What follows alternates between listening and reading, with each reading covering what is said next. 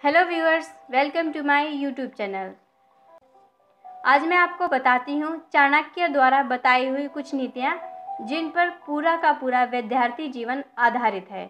अगर आप इन नीतियों का पालन करते हैं तो आप जीवन में सफल हो सकते हैं।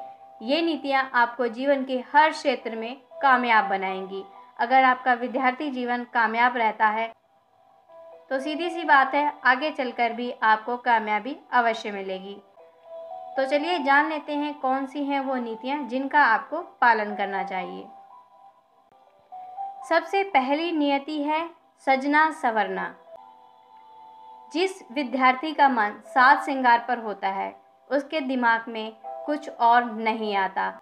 उसके दिमाग में हमेशा सौंदर्य, पहनावे रहन सहन के बारे में ही बातें चलती रहती हैं। सात श्रृंगार के बारे में सोचने वाला व्यक्ति कभी भी एक जगह ध्यान केंद्रित करके विद्या प्राप्त नहीं कर सकता।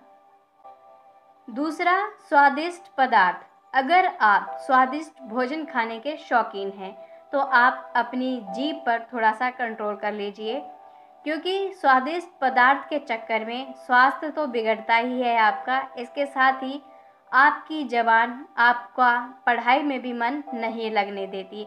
आप हमेशा कुछ ना कुछ खाने पीने के बारे में ही सोचते रहते हैं।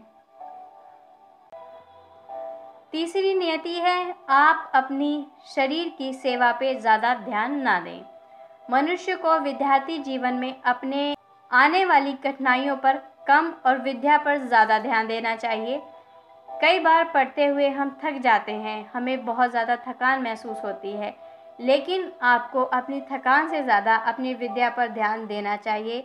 आप थक गए हैं बहुत ज़्यादा तो आप थोड़ा सा रेस्ट ले लें। लेकिन ऐसा नहीं है कि उस समय आप विद्या को त्याग ही दें और पढ़ना बंद कर दें। थोड़ा सा रेस्ट लेने के बाद आप दोबारा से पढ़ना शुरू कर दें।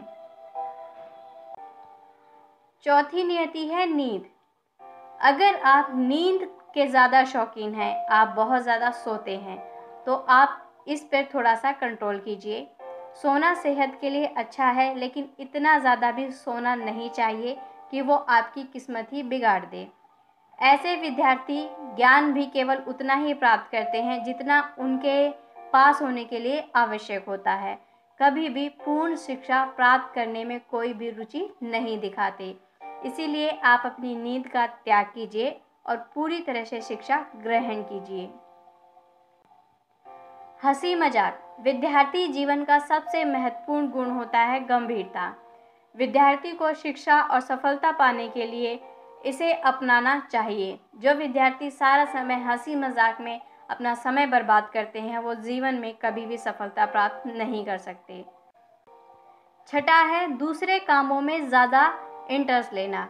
अगर कोई भी विद्यार्थी अपनी विद्या के अलावा बाकी की चीज़ों में ज़्यादा इंटरेस्ट दिखा रहा है तो ये उसकी विद्या के लिए बहुत ही ज़्यादा नुकसानदेह है। उसे बाकी सभी चीज़ों की तरफ़ से अपना आकर्षण छोड़ देना चाहिए।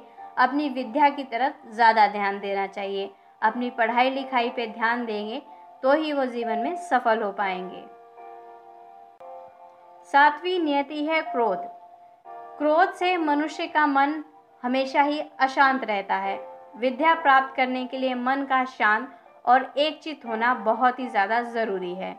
अशांत मन से कोई भी मनुष्य ज्ञान को केवल सुन सकता है, उसे कभी भी समझ नहीं पाएगा, ना ही उसका पालन अपने जीवन में कर पाएगा।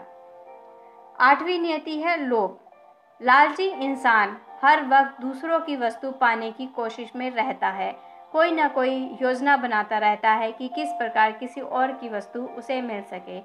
ऐसा विद्यार्थी कभी भी अपनी विद्या के बारे में सतर्क नहीं रहता और अपना सारा समय अपने लालच को पूरा करने में ही गवा देता है।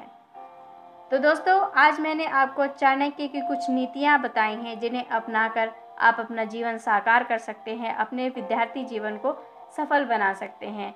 अगर आपको मेरे द्वारा दी हुई ये जानकारी पसंद आई है तो आप इस वीडियो को लाइक कीजिए अपने दोस्तों के साथ, अपने प्रियजनों के साथ इस वीडियो को शेयर ज़रूर कर लें। इसके साथ ही हमारे चैनल को सब्सक्राइब करना ना भूलें। धन्यवाद।